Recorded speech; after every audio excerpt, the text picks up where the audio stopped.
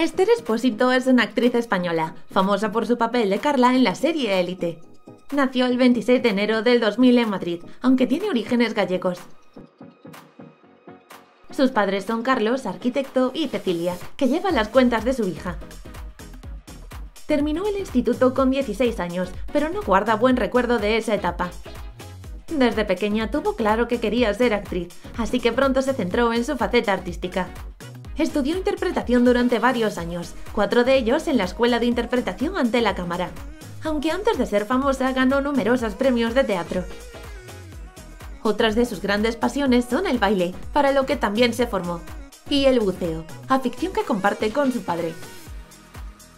Antes de saltar al cine y la televisión apareció en varios anuncios publicitarios, uno de ellos con su madre, promocionando una conocida marca de agua. 2016 fue el año de su salto a la televisión. Hizo sus primeros pinitos en la serie Vis a Vis, producida por Globo Media y en Centro Médico, de televisión española. En la gran pantalla ese mismo año hizo una pequeña aparición en Que Dios nos perdone, dirigida por Rodrigo Sorogoyen. Con el tiempo sus papeles se fueron haciendo más importantes y en 2017 participó de forma más activa en la serie Estoy vivo, de televisión española, pero sin duda el despegue total de su carrera vino en 2018 con la serie de Netflix Elite. Seguro que la conoceréis, pero por si acaso tenéis otro vídeo donde os hablamos de ella. En Las Encinas, Esther interpreta a Carla, una adinerada marquesa a la que le cuesta mostrar sus sentimientos. Ella misma dice que se parece a su personaje, en lo de ser poco impulsiva y pensarlo todo mucho.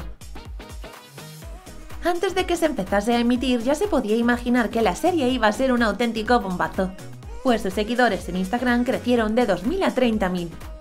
Después del estreno en pocas semanas sobrepasó el millón y era una cara conocida a nivel internacional. Ella misma reconoce que superó por completo sus expectativas y que el éxito le ha cambiado la vida.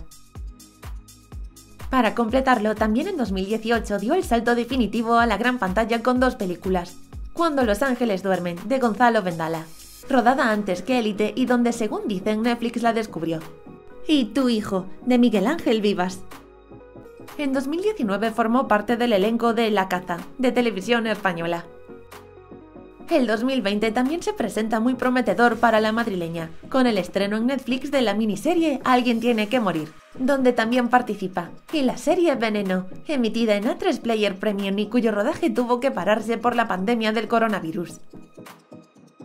Su popularidad ha aumentado tanto que cuando el 11 de abril de 2020 subió un vídeo en Instagram bailando la canción de reggaetón El efecto de Chencho Corleone y Raúl Alejandro, sus seguidores crecieron como la espuma. En 24 horas había ganado 2 millones más, y el 28 de abril se convertía en la española con más seguidores, 20,8 millones. El clip llegó en esa fecha a casi 50 millones de reproducciones, batiendo récords en su país. Por todo esto, las principales firmas de moda de todo el mundo se pelean porque lleve sus prendas. Mientras ella no duda en utilizar esa repercusión mediática para defender lo que considera justo. Por ejemplo, se la puede ver en su perfil de Instagram reivindicando el feminismo.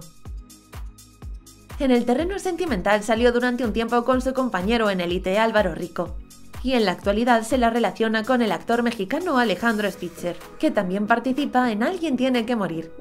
Aunque no suele hablar de su vida privada, podemos ver en sus redes que se intercambian comentarios y fotos.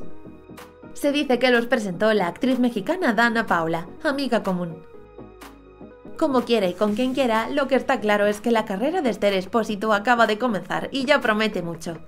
Seguro que la seguiremos viendo triunfar, pero por favor, que no deje de bailar reggaetón.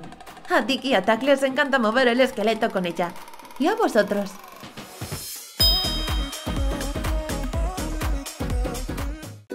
No olvides suscribirte y darle a like si te ha gustado. Y también puedes seguirnos en nuestras redes sociales, Facebook, Twitter e Instagram.